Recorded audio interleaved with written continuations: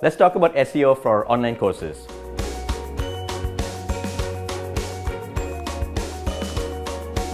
SEO stands for Search Engine Optimization, and that means optimizing your site, in this case your online course site, for search engines. Now, what happens when someone searches for something online is they go to google.com or another search engine and they type in certain keywords and Google then spits out some results that Google thinks is best suited for those keywords that the person searched for. So for example, let's say, you know, I search for fitness. Um, I could be searching for generic fitness information, or if I search for fitness courses, then I'm searching particularly for a fitness course to take. What you want to do as a course creator is to identify exactly what people are searching for when they're looking for a course like yours.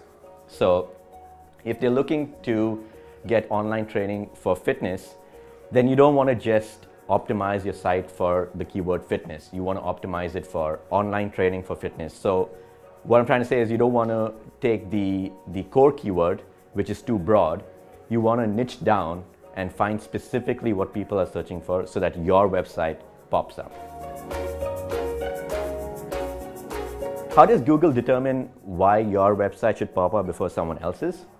What Google does is they're going to look at the keywords, they're going to look at your website, and they're going to say, okay, this website talks specifically about these keywords that this person is searching for. Therefore, this website is probably most appropriate to be serving up to this searcher. The best thing you can do right now is to, and you could probably do this in the next one hour, this is really easy, is find your core keywords that are perfect for your website.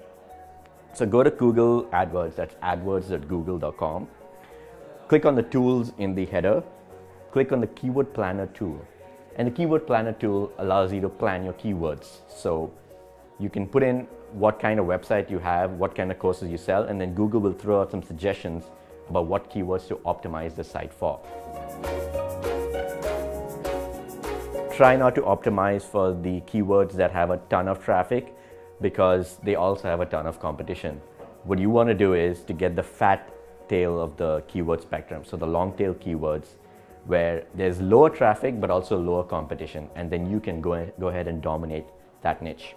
Back to the fitness thing, you don't want to just optimize for fitness or even fitness courses. Maybe you want to optimize for fitness courses for professionals.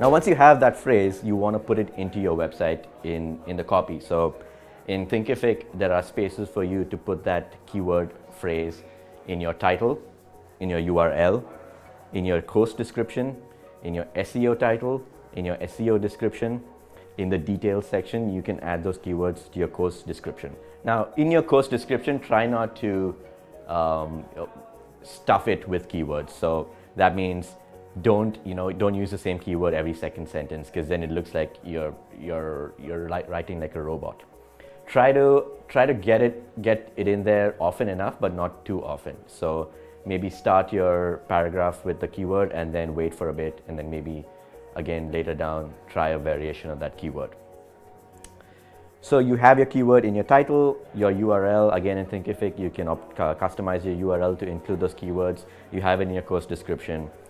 You can also add student reviews. When students start writing reviews for your courses, Google actually picks up on that and gives you some SEO juice for those reviews. Um, another thing you, need, you should probably be doing is blogging about your courses. So what you can do is you have the core keywords um, in your course description page and then you can take variations of that and create blog posts around those variations.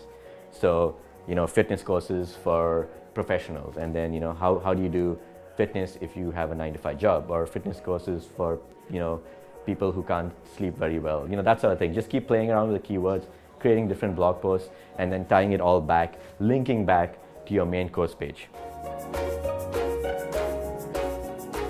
that's the basics of SEO for your online course site. It's actually pretty simple and you could probably do it in an hour right now. And if you need more help, always check out the Thinkific blog or our experts marketplace.